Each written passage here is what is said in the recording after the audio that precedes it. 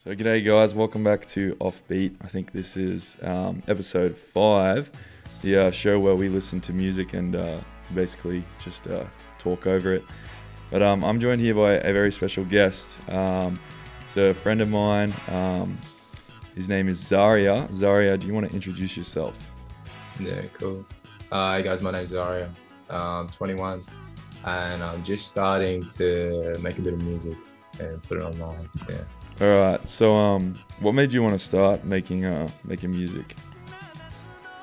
Um, I think like ever since I was a young kid, I used to play drums in church, and I had this teacher, his name's Nathan, to always teach me after church.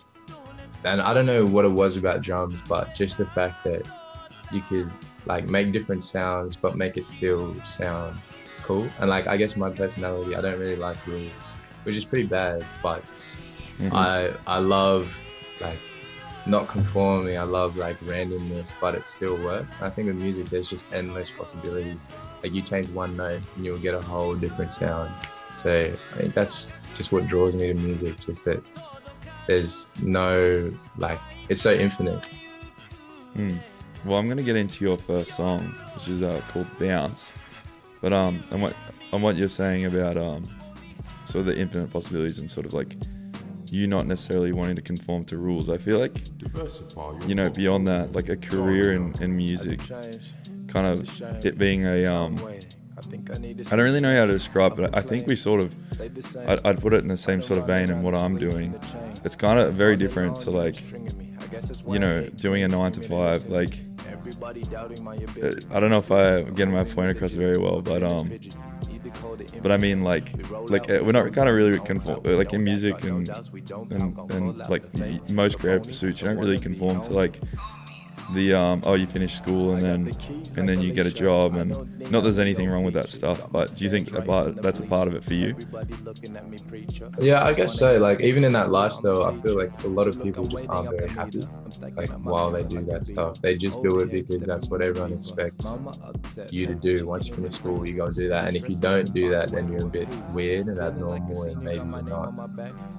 Like yeah, fitting in with everyone, be kind of outside the box. And to me, like I love that. That's not the reason like why I did music, but I think that's a side of it I love too. Like I love being weird. I love being like undefined in a way. So yeah, it works for me too. I'd assume it's the same for you in the sense that you know I don't think you're doing what you do to prove people wrong, but it's cool that you can stand out a bit, be a little bit different.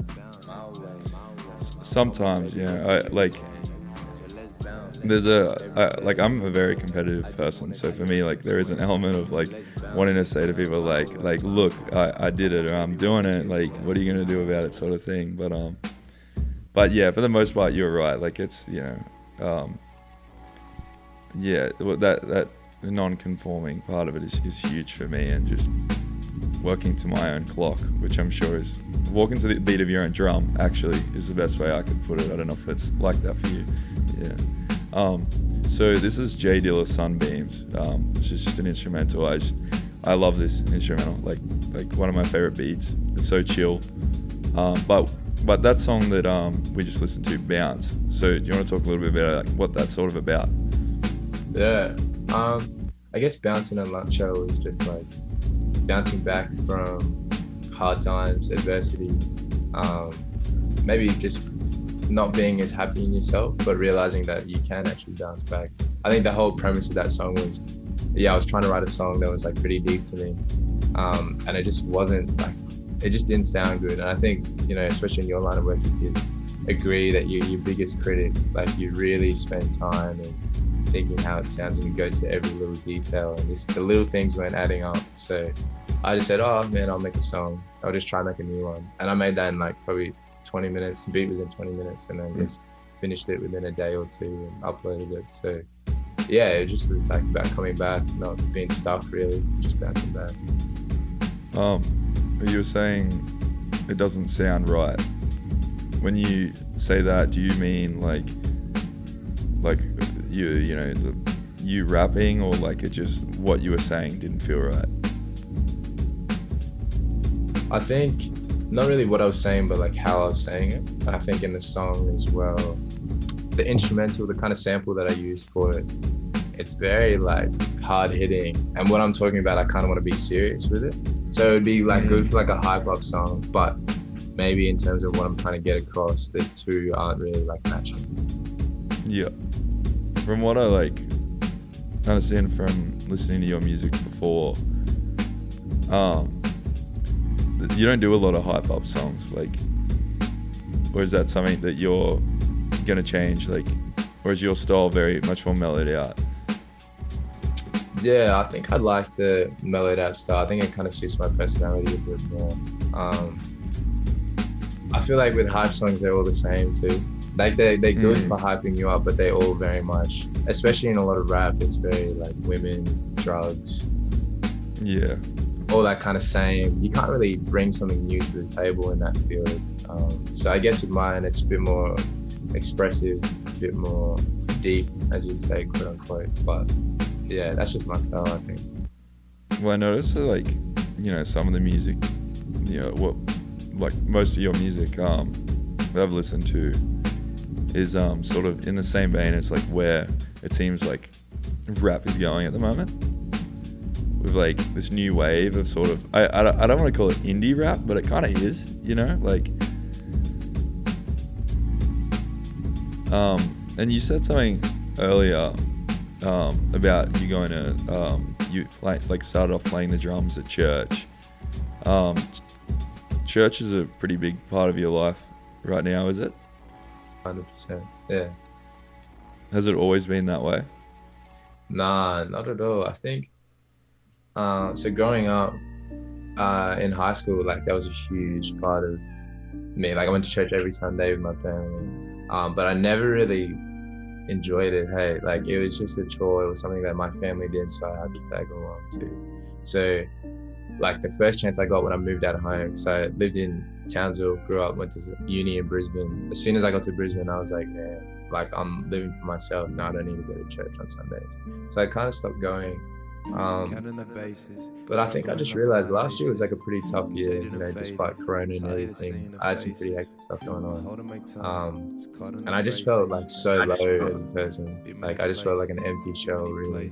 I was just kind of existing, but I didn't like the person that I was. And I wanted to change, but I didn't know how to change. So my best friend um, invited me to church one day, and I was like, ah, like I'm used to it. It's not like a new environment for me. I know what goes down. So I might as well go. But something hectic happened. Like I went there first time, it was really good, loved the environment, so I went back again. And the second time, they were like, they were playing a song, like worship songs, and I was just standing there, and like something in my gut was like rising, and I was like, dude, what's going on? And I felt like I was gonna cry. I was like, bro, this is whack. Like I don't know any of these people. I don't know. Like, I'm not gonna cry at this place. But the more I tried to fight it, the more it was like rising up.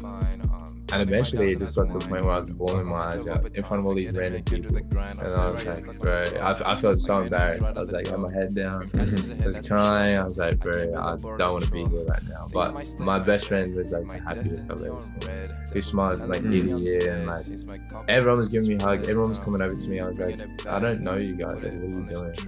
And I guess just that environment, the change. Ever since then, like it changed. Like it kind of, I'd say that's when God hit me, or like it became real, just because I had that experience one on one. But yeah, ever since then, like church is a huge part of me now. I think spirituality is a yeah huge element of my life. Um, yeah, that's. I mean, that's pretty wild. Like, uh, that's the first story I've sort of heard about kind of.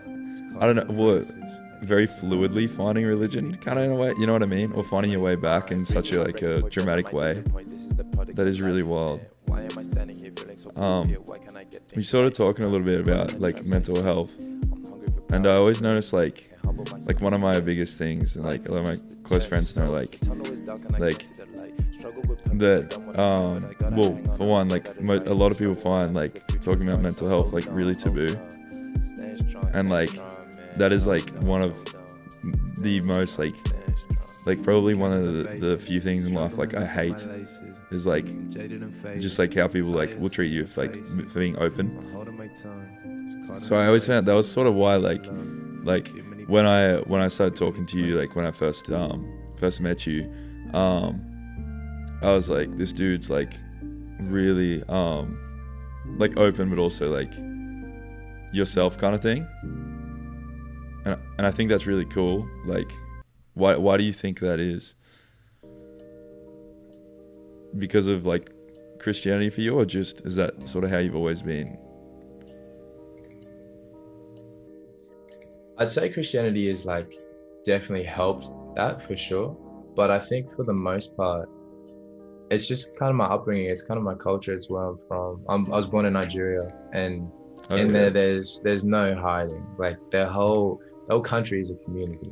You know, people will Mm. come over to your house at like 9 p.m. at night without even asking, without like any warning. They'll just knock, and you'll be like, "Oh, come in." Like family. Like it's a whole community kind of environment. So when you're really down, you share it with people, not in the hopes of, you know, I just need it off my chest, but like in the sense that we all care for one another. We all want to build each other up. We all want to grow.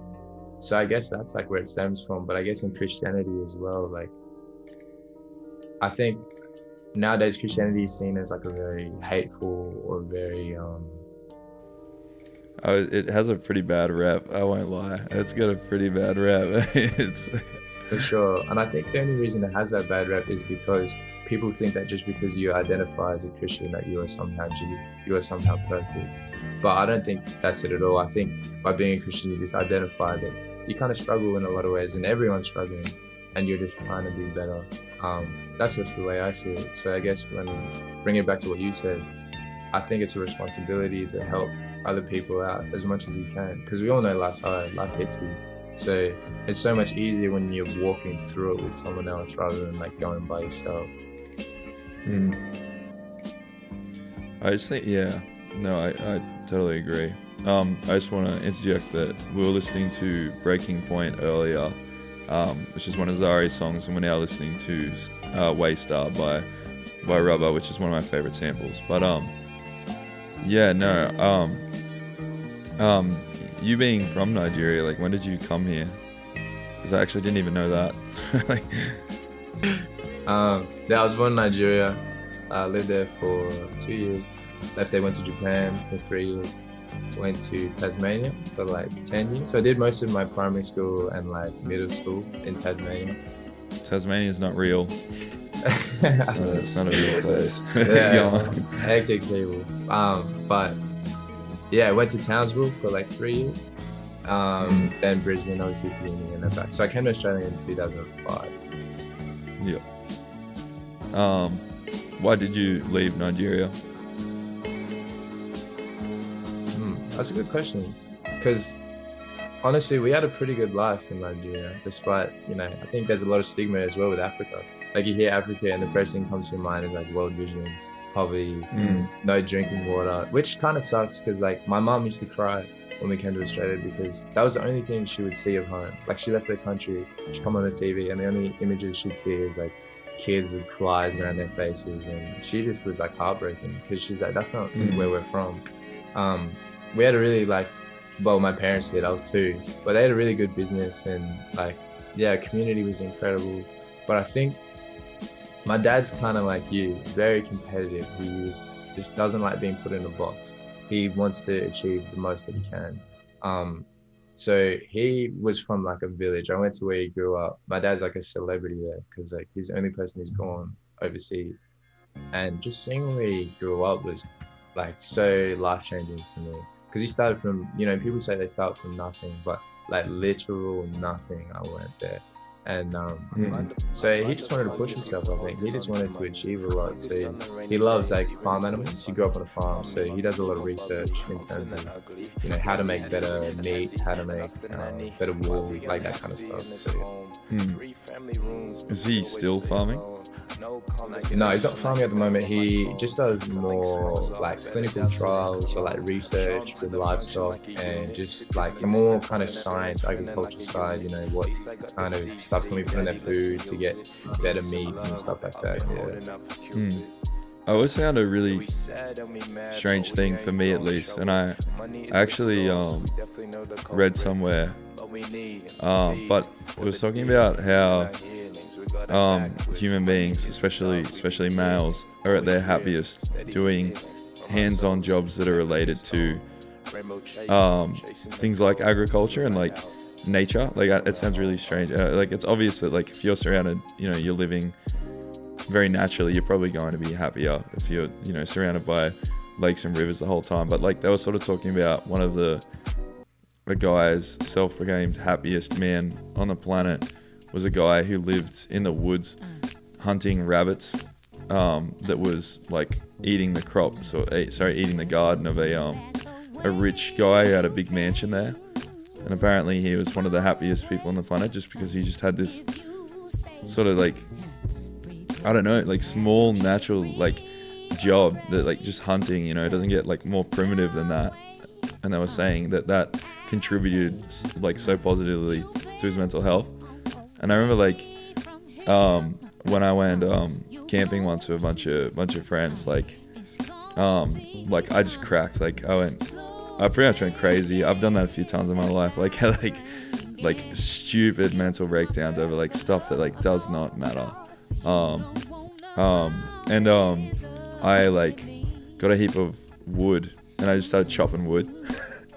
and I recovered like really quickly. Like like I was like I was like gathering firewood and I was like putting it in like you know like mm, more wood and you know like chopping it up and and like and like I was so happy doing it and enjoying it and I just think that's so weird. Like that that's like poss- very possibly a thing. Like I don't know but but to what you were sort of saying um I'm sure my audio isn't mixed very well.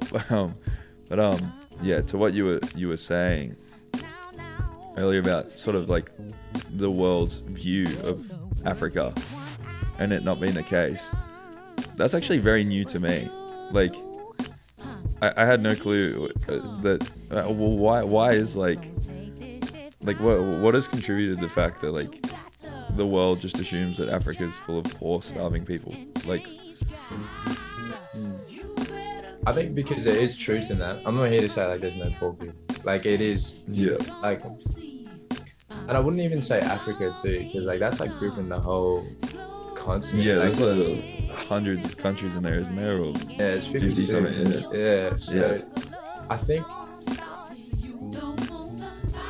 maybe it's because like that is that element is there, but like there's a thing in psychology called like negative dominance. So whenever you see Mm. something negative, it actually trumps all the good inside of it. Like say you put a picture on Instagram and you feel like you're popping, like you're loving how you look, and like 50 people are like, bro, you look good. Then there's that one like joker who's like, oh, bro, you look whack, your arms look small. You'll focus on that Mm. one comment rather than the 50 other good ones you got. Like that'll just ruin the mood. Even though you got 50 nice Mm. comments, you got 100 likes, that one negative comment is gonna like ruminate in your mind. And I think that's what So- happens. Yeah.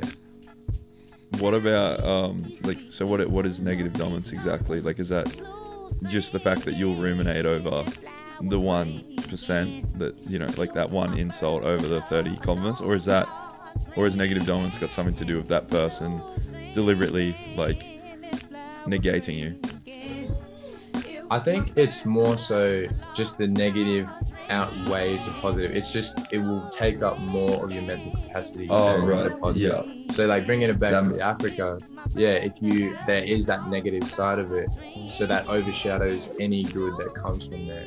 So Mm. because there is such, and it's a strong negative too. Like uh, like poverty and people dying is like a huge thing, but that just trumps any kind of good that comes out of there too. Hmm. Um, sorry, just gotta jump in again. One of the criticisms I got for the show was that um, I never said what songs were playing. This is "Fall in Love" brackets Your Funeral by Erykah Badu. Um, it's another song that's been sampled a few times. Um, but yeah, no, that's um, that's actually really interesting. Um, because yeah, I've always sort of yeah just assumed the absolute worst of the African continents. I like just because of like the depiction of it on TV. But it- it's interesting like how much that shapes people's um opinions of things. Like like like America, you know, gro- growing up, you know, when I was a kid and my dad showed me like a lot of um a lot of movies I should not have been fucking watching. um and you'd see like, you know, the badass like American soldiers in the war. Like when I was a kid, I wanted to join the army because I was watching like like virtual, virtually like U.S. propaganda, um, and it like shaped my view of America. It's like this like glorious country. Like I think I wanted to be American as a kid, and it's like that is like the furthest thing to from the truth. When I went to America, I went to American high school. It's like borderline shocking, but it's crazy like how like you know you can just get your opinion of something like shaped without at such an impressionable age without you realizing. Hundred percent. I think that's why, you know, social media and everything is so dangerous in our day and age because someone can just have an agenda, put it out as this is what's going down, and no one, you know, takes that knowledge to be like, all right, let me find out. Let's actually like put some research into it. It's so much easier to just say like, oh, I read this thing on Facebook. That's true, Mm. rather than you spending the time to actually look into both the pros and cons of it and coming to a decision. And I guess maybe bringing it back to Christianity, that's what kind of made me stay in there because I was like, all right, I have this negative depiction of it. I see these, again, negative dominance, like bad examples of Christians that kind of ruin it for all the good Christians as well. But I think once I had my own kind of take on it, and I, I just wanted to find out for myself, I was like, all right, this is something I can get down with. But yeah, I think it's very dangerous to just have your ideas shaped by everyone else. Your Christianity um, points made me feel like a bit of a hypocrite. Because I was, just, I was just thinking, I was like, I was like, I just revealed that like, yeah, like the um, what's it called? Like the view of Christianity is not overwhelmingly positive all the time, and I haven't actually gone to church in about in, in years, like probably since I was a kid, I would say. Um, so this is Sarah, Sarah and Pen, Serendipity. Serendipity. Serendipity. Sorry, I was reading it in the small writing. Um, do you want to talk about well the meaning of the songs on the album cover? Right? yeah, so, so what was your serendipity? Right, music for sure. Yeah. So serendipity basically just means like it's something really good that you just find by accident. So like a good relationship, you know, if you don't really look for someone, but someone just comes into your life and just compliments it, like that's serendipity. So for me, it was music. Like remember, as I was saying, when I had that really rough period last year, um, I bought this keyboard last year, uh, no, two years ago now, and I never really touched it. But during that time, I like started playing it, and for some reason, as you were saying with that primal, when you were carrying wood, you just felt like calmed you down. For me, that was like you're- that was my wood, bro. That was like me calming me down. I was like, I find it. I find it so funny that your version of that is like creating like beautiful music, and my version of that was chopping shit up. no, That's it, but that, that makes a lot of sense though. hmm. Well, did you did you get the feeling that like this is what I should be doing? Kind of. And I think tying it all up, that happiest man alive, I think the only reason he's happy is because he is doing what he was born to do, like in a way, like designed and created for. He is created to hunt Mm. rabbits. Like that's a tight little niche, but he's doing what he's created for, and that's why he loves it. I'm sure with you, like film, you found what you love doing. What you know, I'm not sure about you, this, but for me with music, time stops. Like, t- like in everything, I'm looking at the clock. Like, is this done? Is this over? With music, like I will lose myself in it for hours and come out and be like, oh, dude, it's been three hours. That's crazy. Mm. So I think the happiness that everyone seeks is like doing what you're designed and purpose for. And I guess that's the issue with doing that nine to five is that that's someone for someone that's great. Like I'm not saying nine to five is bad, but for someone that's awesome. But for a lot of people, it's not what you were put into to do.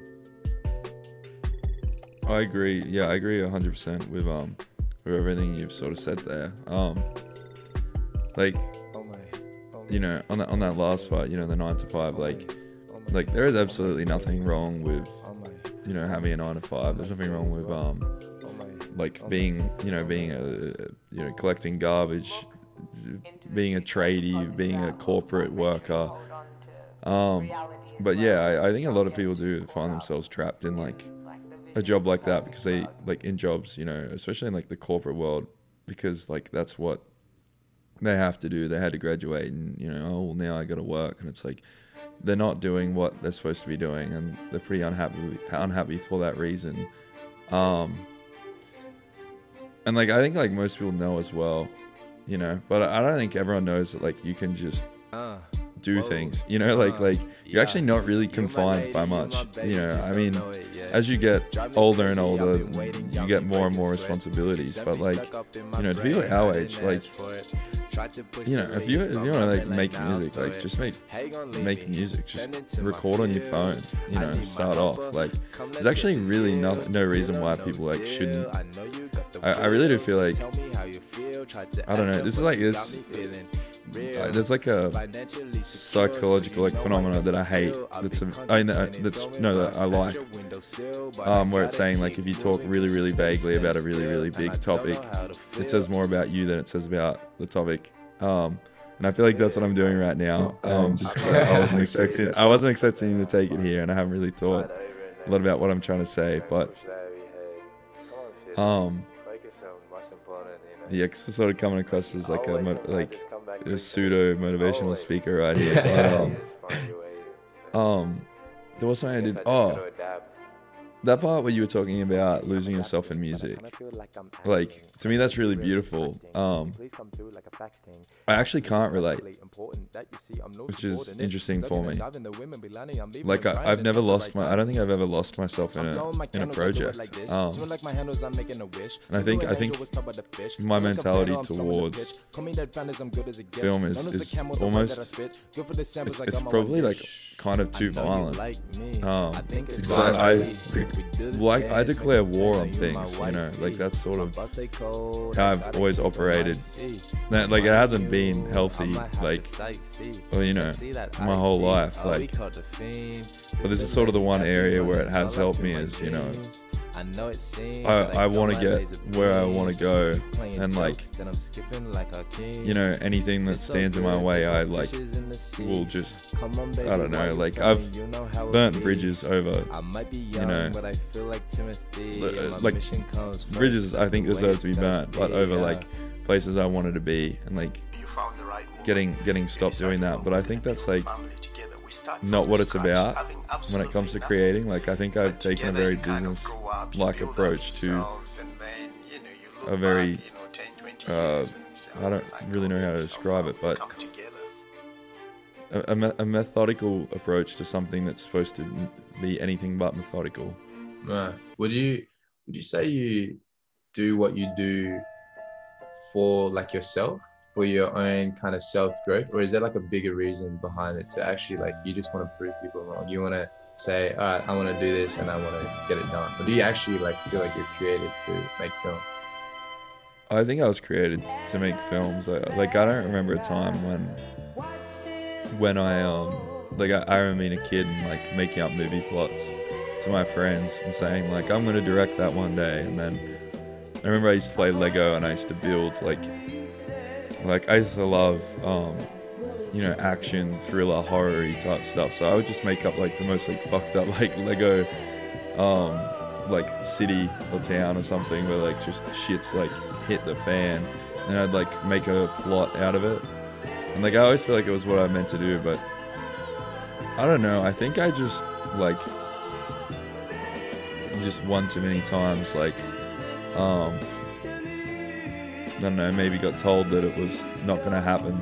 And maybe that's where the sort of methodical approach came in. And that's why it might seem a little bit like I do it for, um, you know, others rather than myself. But I do do it for myself. Mm. Um, I just want to, I just want to warn you really quickly that we're at the 29 minute mark. Uh, no. So if we want to get into the beat making now. Uh, but anyway, yeah, I'll run you through the process of like how I make my tracks. So normally I think yeah. now I like doing a lot more boom bap type of stuff. Um, I love boom bap, so that um, that, that worked for me. That works fine. All right. So normally I start with like I'll go with the keys just because you can kind of layer the drums around the music a bit better. So go to FL, uh, get this E piano sound and then I like to put a little bit of reverb on it so it sounds a bit more spacey. So right now it sounds like this. If I chuck reverb on it, it will sound like this. It's a bit more floaty. Yeah, no, that's a lot nicer. Yeah. So um, normally you just find the BPM that you kind of want. So because it's boom bap, you want it a bit slow. So like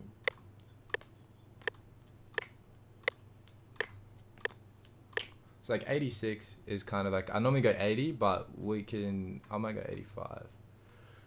Um, so I'll record just what the piano will sound like. So there's like a simple little progression.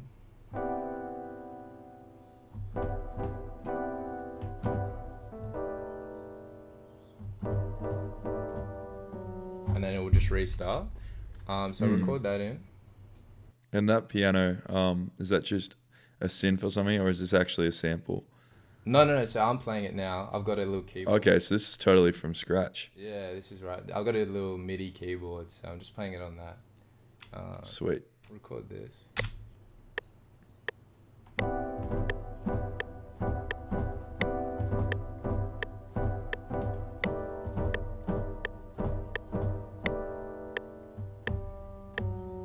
Perfect. So that's the loop. That's pretty sick. I actually, I actually like that a lot. Yeah, it's a simple little like because it uses a bit of major nines and stuff. It keeps it a bit more bouncy and flary. So, so I come in. So now normally this is the fine tuning part. Just for me, like you can quantize your stuff so it all falls in on this grid and it sounds real nice. Some people don't like quantizing, especially with boom bap, because it's very like you want that kind of rock with it. But I I think it just sounds a lot better if everything is snapped on grid. Yeah, I hate that little. I'm a bit of a perfectionist as well. So when things are just a little bit off, it throws the whole thing out of whack for me. It's like these. that.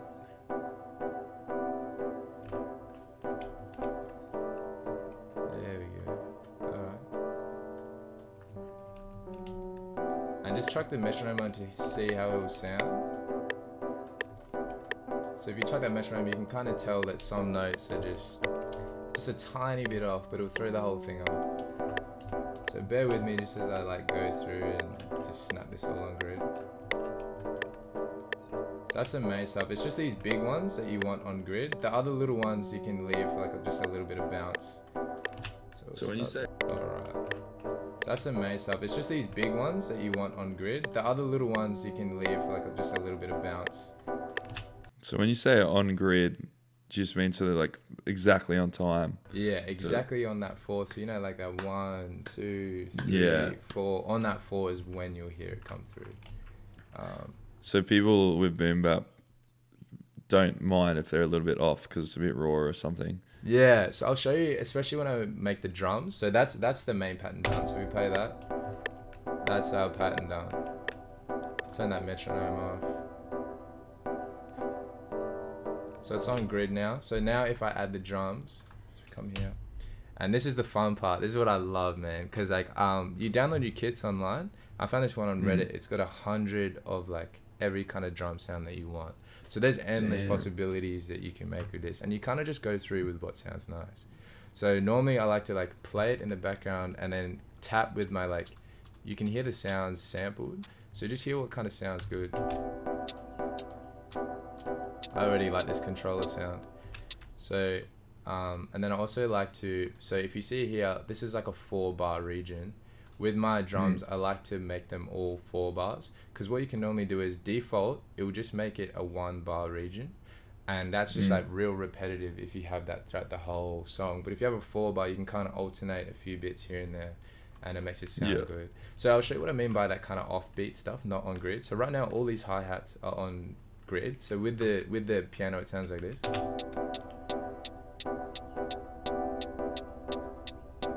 But with the boom bap kind of style, you know it's a bit more head boppy, it's more rocky. So if we literally just center it just a tiny bit off grid, yeah, move it just a little bit like this, you'll hear it's a whole different sound. Okay, yeah, I see what you mean. So it's a bit more laggy and it allows a bit more kind of headroom to come in. So if we find our Yeah. snare sound that we want as well.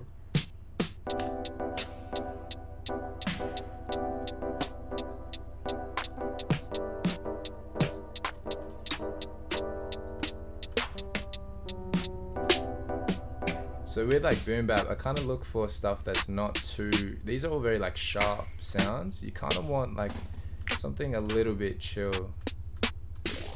Maybe like this kind of sprinkle. So maybe something a bit more hitting. This is a bit that's annoying for me because I'm a perfectionist. So unless I need to find something that sounds really, really good. So we've got like a boom bap clap anyway. We'll just use that for now. And just fill each note. So you can kind of hear that groove kind of come through. Hmm. And with most boom baps, you have like an open hat. So I like just the chill kind of. It needs to be short, but not too loud. We'll try this. So this comes on the offbeat on each time. You hear it sounds. Mm, nice.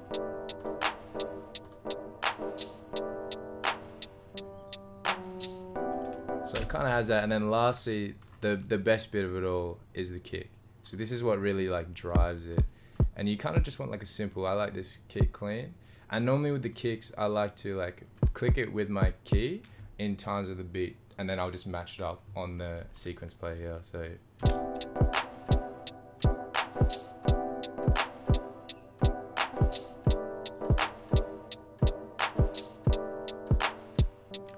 So something like that. So I know what what I want to sound, and then I just I literally just paint it in here. But the thing is, cause it's like not on grid, this is what it sounds like on grid. See, it's a bit more like rigid. It doesn't have that bounce. Mm. So now if we come to the kick and we go to the piano roll, where the kick is, now we can kind of move it just that little bit off grid, and it will have that kind of bounce now.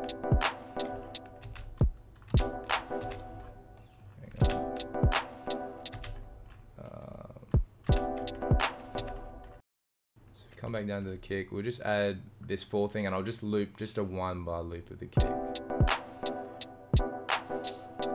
And then so all you got to do is just copy and paste this over. And this will just carry on through the rest of the song. Perfect. And then normally with my drums, I just split it by channels so you can have each individual element. So that just means like you can bring in just a clap or just a hi-hat. So if we just want without the kick and without the hi-hat, we just have these elements.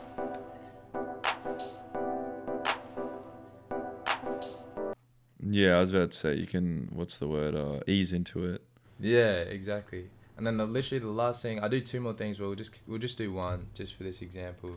As I normally like to add, um, just like a lead sound that comes on top. So um, I like this sound just because it's pretty unique. I've never heard a sound kind of like this. I'll turn this down a bit.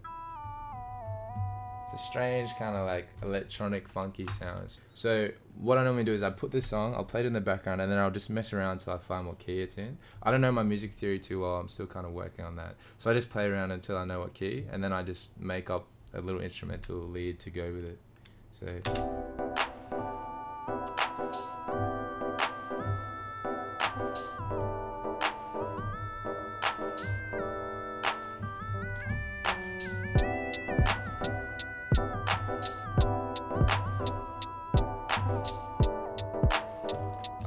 So I know what keys it's in, and I'll just rec- That was really impressive to watch. Hey, so I just record this four bar loop. You can see what I'm playing in this little piano section down here. Yeah. But I'm literally just making this up as I go. So that's literally it. And I'll just like, I can go through and snap this on grid as well. You kind of want these on grid as well. Otherwise it sounds really whack um, without it. But I'll just leave it just for the sake of the time.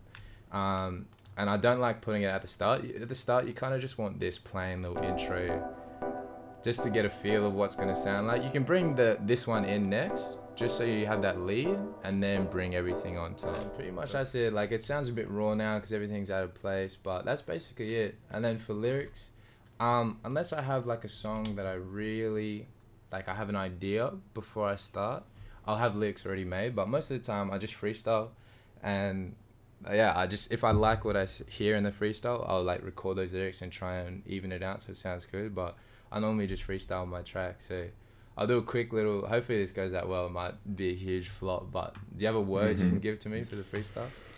um, um, do you want, uh, is there a topic you want to keep it on, or Look, I'm easy. We can go something like Zoom, yeah, w- wood cutting?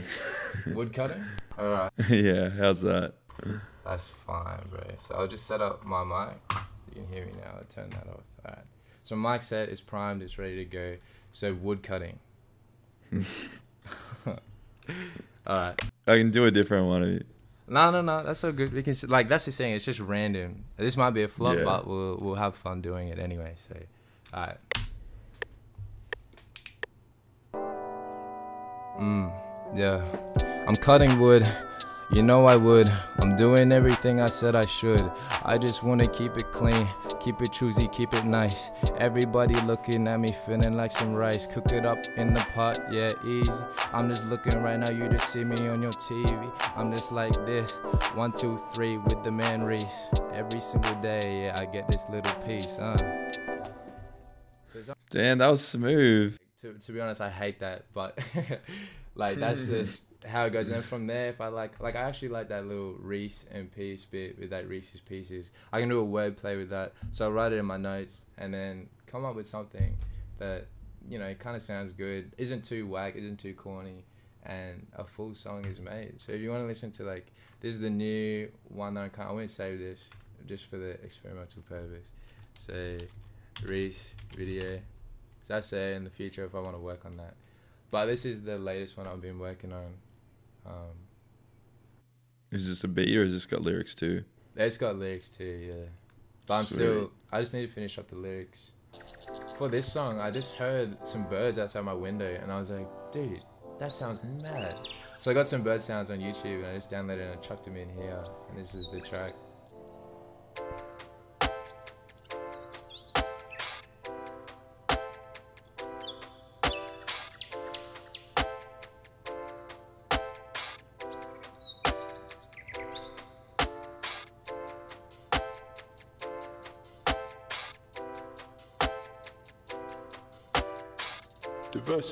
Portfolio.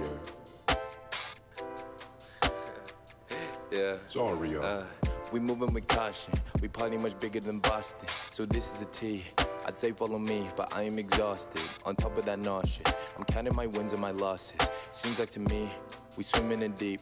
The progress is halted. My Lord is exalted. My shoulders are broad. I'm never insulted. I'm feeling assaulted though. Back on the wall. I'm fighting alone. I'm right in my zone. I'm not like the rest. They call me the isotope. Life is the pain. God is the antidote. Feeling like fish. Never gon' artichoke. Everybody asking, yeah, they feeling so entitled. Way too hard up on myself. I am my biggest rival. Need to ground myself. I need to read more of my Bible. Never go to war, but if you step, I grab this rifle. I'm standing up to my giants. I'm waiting on for this triumph. I'm smarting all of these tyrants. Quiet down, I need silence. Like, uh, let me think.